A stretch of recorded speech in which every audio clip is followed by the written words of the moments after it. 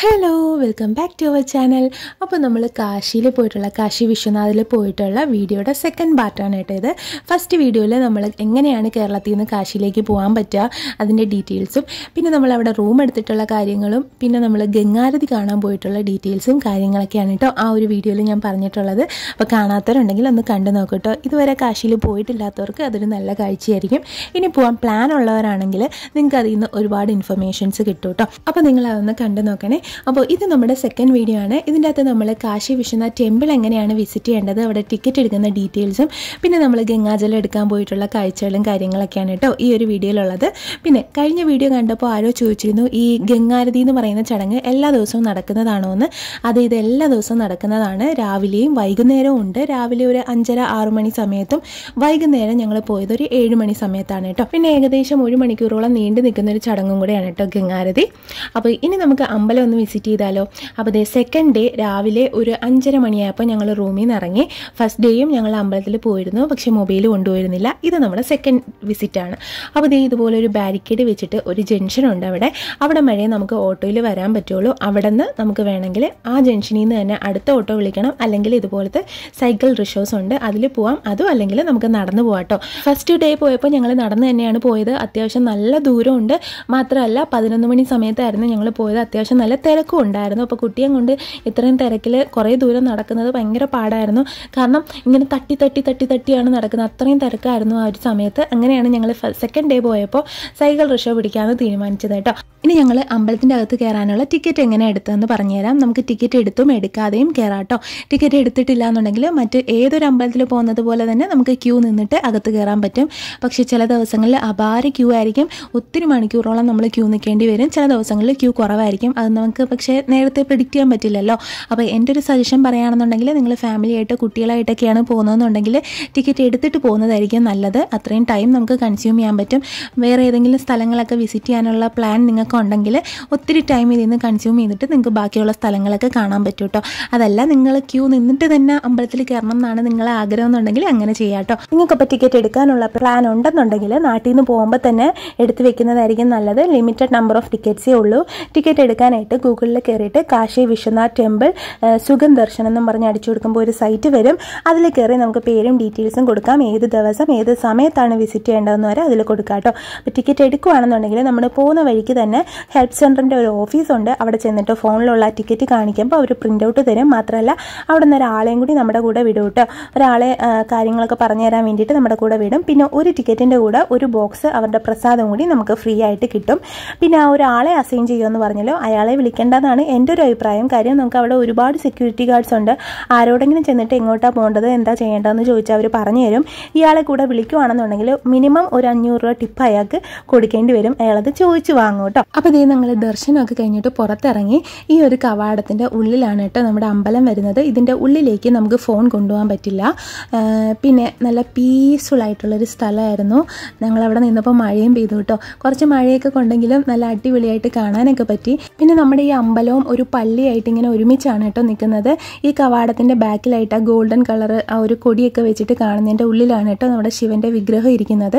അപ്പോൾ ഈ അമ്പലവും പള്ളിയായിട്ട് എന്തൊക്കെയോ ഐതിഹ്യങ്ങളൊക്കെ ഉണ്ട്. അതിനെപ്പറ്റിയൊന്നും ഡീറ്റെയിൽ ആയിട്ടൊന്നും എനിക്ക് അറിയില്ല കേട്ടോ. അപ്പോൾ ഞങ്ങൾ എന്തായാലും അതൊക്കെ കണ്ടു പുറത്തിറങ്ങി. ഇനി നമുക്ക് ഫോൺ കൊണ്ടുപോകാൻ പറ്റില്ല എന്ന് കുറേ പേര് പറഞ്ഞിരുന്നു. ഫോണൊക്കെ നമുക്ക് കൊണ്ടുവരാൻ പറ്റും കേട്ടോ. നമ്മൾ ഇങ്ങോട്ട് വരുന്ന തന്നെ ഒരുപാട് കടകൾ കണ്ടല്ലോ.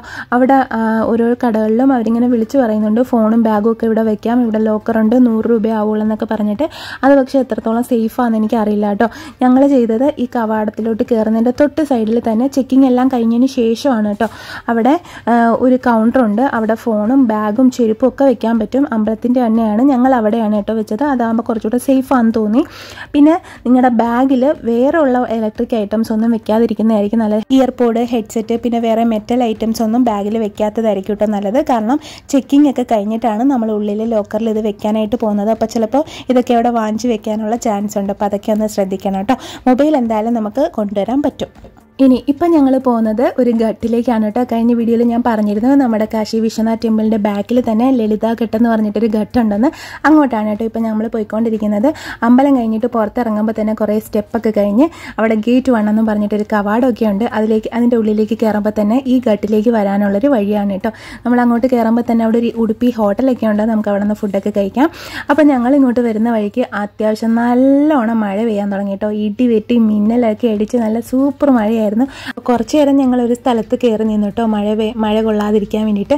അപ്പോൾ ഞങ്ങൾ വരുന്ന സമയത്ത് നല്ല തിരക്കായിരുന്നു ഇവിടെയൊക്കെ. മഴ പെയ്യാൻ തുടങ്ങിയപ്പോൾ പയ്യെ പയ്യെ ആൾക്കാരൊക്കെയും കയറിപ്പോയി കുറച്ച് കഴിഞ്ഞപ്പോൾ വീണ്ടും പയ്യെ പയ്യെ ആൾക്കാർ ഇറങ്ങി തുടങ്ങി കേട്ടോ ഇപ്പോൾ നിങ്ങൾക്ക് കാണാം ഈ മഴയത്തും ബോട്ട് സർവീസൊക്കെ നല്ല അടിപൊളിയായിട്ട് നടക്കുന്നുണ്ട്. ഒരു ഘട്ടിൽ നിന്ന് വേറെ ഘട്ടിലോട്ട് നമുക്ക് ബോട്ട് സർവീസൊക്കെ ഉണ്ട്. നമുക്ക് ഇവിടെ തന്നെ താഴെ ബോട്ടുകൾ കിടക്കുന്നില്ലേ? അവിടെ പോയി പറഞ്ഞാൽ മതി നമുക്ക് ഇന്ന ഘട്ടിലേക്ക് പോകണമെന്ന് അപ്പോൾ നമ്മളെ അവിടെ നിന്ന് കൊണ്ടുപോകും തിരിച്ചിവിടെ കൊണ്ടാക്കണമെങ്കിലാക്കും. നല്ല നല്ല രസമാണ് കേട്ടോ അവിടുത്തെ കാഴ്ചകളൊക്കെ കാണാൻ വേണ്ടിയിട്ട് അപ്പോൾ നമ്മളിത് ഇപ്പോൾ ഇറങ്ങിക്കൊണ്ടിരിക്കുന്ന ഘട്ടിന്റെ പേരാണ് ലളിത ഘട്ട്. ഇതിന്റെ തൊട്ടടുത്ത് കാണുന്ന ഘട്ടാണ് കേട്ടോ മണികർണിക ഘട്ട്. ഇതിന്റെ കാര്യങ്ങളൊക്കെ നമ്മൾ ഡീറ്റെയിൽ ആയിട്ട് കഴിഞ്ഞ വീഡിയോയിൽ പറഞ്ഞിട്ടുണ്ടായിരുന്നു. ഏറ്റവും കൂടുതൽ ഡെഡ് ബോഡീസ് കത്തിക്കുന്ന ഒരു സ്ഥലം. അത് അവിടെ നിന്ന് ഈ രണ്ട് ഘട്ടും കൂടി നോക്കുമ്പോൾ നമുക്ക് മനസ്സിലാവും. മണികർണിക ഘട്ടം എന്ന് പറയുന്നത് മൊത്തത്തിൽ അവിടുത്തെ ബിൽഡിങ്ങുകളാണെങ്കിലും അവിടുത്തെ ഓരോ കാര്യങ്ങളും മൊത്തത്തിൽ ഒരു ഇരുണ്ട ഭൂമിയാണ് മണികർണിക ഘട്ടം എന്ന് പറയുന്നത്. ഇരുപത്തിനാല് മണിക്കൂറും ഡെഡ് ബോഡീസ് കത്തിക്കുന്ന ഒരു സ്ഥലമല്ലേ മൊത്തത്തിൽ പുക കൊണ്ട് മൂടി ഒരു ഇരുണ്ട സ്ഥലം ഒരു ഡാർക്കൻ പ്ലേസ് നമ്മളവിടെ മഴ മഴ കാരണം അവിടെ കയറി നിന്നപ്പോൾ താഴോട്ട് നോക്കിയപ്പോൾ കണ്ടായിരുന്നു ഒരു ഡെഡ് ബോഡി കൊണ്ടുവന്നിട്ട് ഗംഗാജലത്തിൽ ഇങ്ങനെ കുറേ തവണ ഇങ്ങനെ മുക്കിയിട്ട് അത് നേരെ കൊണ്ടുവന്ന് തീയിലേക്ക് വെക്കുന്നത്. മഴയത്താണെങ്കിലും വെയിലത്താണെങ്കിലും എപ്പോഴാണെങ്കിലും ഈ സംഭവങ്ങളൊക്കെ അവിടെ നടക്കുന്നതാണ് കേട്ടോ. ഇപ്പോൾ നിങ്ങൾക്ക് അങ്ങോട്ട് നോക്കുമ്പോൾ മനസ്സിലാവും. ഈ സൈഡിലേക്ക് നോക്കുമ്പോൾ നല്ല വെളിച്ചമുള്ള ഒരു ബ്രൈറ്റ് ആയിട്ടുള്ള ഒരു സ്ഥലവും അങ്ങോട്ട് നോക്കുമ്പോൾ ഇരുണ്ട ഒരു ഒരു ഡാർക്കൻ പ്ലേസ് ആയിട്ട് നമുക്ക് ഫീൽ ചെയ്യും കേട്ടോ അവിടെ നിന്നത് രണ്ടും കൂടി കമ്പയർ ചെയ്ത് നോക്കുമ്പോൾ. പിന്നെ ഇത് മണികർണക ഘട്ടിന്റെ ഒരു സൈഡ് മാത്രമാണ് കേട്ടോ. ഞങ്ങൾ അങ്ങോട്ട് ഉള്ളിലേക്കൊന്നും പോയില്ല. ഇവിടെ നിന്ന് കണ്ടതേ ഉള്ളൂ. ഒരു സൈഡ് മാത്രമാണ്. അതൊരു വലിയ സ്ഥലമാണ്. അതിന്റെ ഒരു സൈഡ് മാത്രമാണ് കേട്ടോ ഇപ്പം നിങ്ങൾ കണ്ടത്. അപ്പോൾ ഇപ്പം ഞങ്ങൾ ഗംഗാജലം എടുക്കാൻ വേണ്ടിയിട്ട് പോവാണ് കേട്ടോ നേരത്തെ കണ്ടില്ലേ ബോട്ടിൽ കുറേ കന്നാസുകളൊക്കെ തൂങ്ങിക്കിടക്കുന്ന അവിടെ നിന്ന് നമുക്ക് കന്നാസ് വാങ്ങാൻ പറ്റും കേട്ടോ ഇരുപത് രൂപയുടെ മുപ്പത് രൂപയുടെ പത്ത് രൂപയുടെ എന്നൊക്കെ പറഞ്ഞിട്ട് കന്നാസുകളുണ്ട്. അപ്പം ഞങ്ങൾ രണ്ട് കന്നാസ് വാങ്ങിയിരുന്നു. ആദ്യം ഞങ്ങൾ ആ തീരത്ത് നിന്ന് തന്നെ വെള്ളം എടുക്കാമെന്നാണ് കേട്ടോ വിചാരിച്ചത്. പക്ഷേ ആ ഡെഡ് ബോഡീസൊക്കെ കൊണ്ടുവന്ന് മുക്കുന്ന സ്ഥലമല്ലേ? അപ്പോൾ അതിന്റെ കൂടെയുള്ള പൂക്കളും കുറേ വേസ്റ്റും സാധനങ്ങളൊക്കെ അവിടെ ഫുള്ളിങ്ങനെ അടിഞ്ഞു കിടക്കുകയാണ് അത്ര നല്ല വെള്ളമല്ല ആ തീരത്തുള്ളത്. കുറച്ച് ചെളിയൊക്കെ പിടിച്ചിട്ട് അഴുക്ക് പിടിച്ചിടക്കുന്ന ഒരു വെള്ളമാണ്. അപ്പോൾ അവർ പറഞ്ഞു നിങ്ങൾക്ക് വേണമെങ്കിൽ ഞങ്ങൾ കുറച്ച് ഉള്ളിലേക്ക് കൊണ്ടുപോകാം അത് നിങ്ങളുടെ വിശ്വാസമാണ്. നിങ്ങൾക്ക് ഇവിടുത്തെ വെള്ളം വേണമെങ്കിൽ അങ്ങനെ എടുക്കാം. അല്ലെങ്കിൽ നിങ്ങൾ കുറച്ച് ഉള്ളിലേക്ക് കൊണ്ടുപോകണമെങ്കിൽ കൊണ്ടുപോകാമെന്ന് പറഞ്ഞു. അപ്പോൾ പിന്നെ ലക്കിക്ക് ബോട്ടിൽ കാണണം എന്നൊക്കെ പറഞ്ഞ് വാശിയായതുകൊണ്ട് ഞങ്ങൾ പിന്നെ എന്തായാലും രണ്ടും നടക്കുമല്ലോ എന്ന് വിചാരിച്ചിട്ട് ബോട്ടിൽ പോവുകയാണ് കേട്ടോ. കുറച്ച് ഉള്ളിലേക്ക് കൊണ്ടുപോയി ഏകദേശം നടുക്ക് കൊണ്ടുപോയിട്ട് അവിടെ നിന്നാണ് വെള്ളം എടുത്തത്. പക്ഷേ ഞങ്ങൾ വള്ളത്തിൽ കയറി കുറച്ചങ്ങോട്ട് കഴിഞ്ഞപ്പോൾ തന്നെ നല്ല അടിപൊളിയായിട്ട് മഴ പെയ്യാൻ തുടങ്ങി കേട്ടോ. നല്ല തണുപ്പുണ്ടായിരുന്നു. അതിന്റെ കൂടെ ഈ മഴയും കൂടി ആയപ്പോഴത്തേക്കും കിടുങ്ങാൻ തുടങ്ങി. അത്ര തണുപ്പായി പക്ഷേ ഹാപ്പി ആയിരുന്നു. എന്തായാലും അമ്മയ്ക്കൊക്കെ ഗംഗാജലമൊക്കെ വേണമെന്ന് പറഞ്ഞിരുന്നു. അപ്പോൾ ശുദ്ധമായിട്ടുള്ള ഗംഗാജലമൊക്കെ എടുക്കാൻ പറ്റി. ഇനി അവിടെയൊക്കെ കൊണ്ട് കൊടുക്കണം. എന്നെ കാണുമ്പോൾ നിങ്ങൾക്ക് മനസ്സിലാവും. ഒരു നനഞ്ഞ കോഴിയെ പോലെ ഞാൻ അവിടെ ഇരിക്കുകയായിരുന്നു എന്തായാലും സന്തോഷമായിട്ട് ഒട്ടും പ്രതീക്ഷിക്കാത്തൊരു ഒരു വഞ്ചി യാത്രയായിരുന്നു മഴയൊക്കെ പെയ്തെങ്കിലും നല്ല ഹാപ്പിയായി. വന്നില്ലായിരുന്നെങ്കിൽ ഒരു നഷ്ടമായി പോയേനെ പോയേനേന്ന് തോന്നി. അപ്പോൾ ഞങ്ങൾ എന്തായാലും അതൊക്കെ കഴിഞ്ഞു.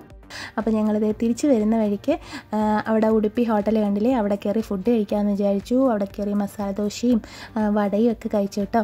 നല്ല ഫുഡൊക്കെ ആയിരുന്നു. പിന്നെ ഞാനൊരു കാര്യം പറയാൻ മറന്നുപോയി നിങ്ങൾ അമ്പലത്തിന്റെ ഉള്ളിൽ നിൽക്കുമ്പോൾ തന്നെ കുറച്ച് സൂക്ഷിച്ചൊക്കെ നിൽക്കണം കേട്ടോ. അവിടെ കുറേ ആൾക്കാരുണ്ട്. നമ്മളെ വന്ന് പറ്റിച്ചിട്ട് പോകുന്നത് നമ്മൾ അറിയുക പോലും ഇല്ല. നമ്മുടെ കയ്യിൽ നിന്ന് മിനിമം ഒരു അഞ്ഞൂറ് രൂപ അല്ലെങ്കിൽ ഒരു ആയിരം രൂപ എന്തായാലും അവർ വാങ്ങിച്ചെടുക്കും. കാരണം നമ്മുടെ അടുത്ത് വന്നിട്ട് നമ്മൾ എവിടെയെങ്കിലും ചുമ്മാ നിൽക്കുമായിരിക്കും നമ്മളെ അടുത്ത് വന്നിട്ട് ആ അമ്പലത്തിന്റെ ഐതിഹ്യമൊക്കെ പറഞ്ഞു തരാമെന്ന് ഒന്നും പറയുന്നില്ല അങ്ങ് തുടങ്ങും അവർ.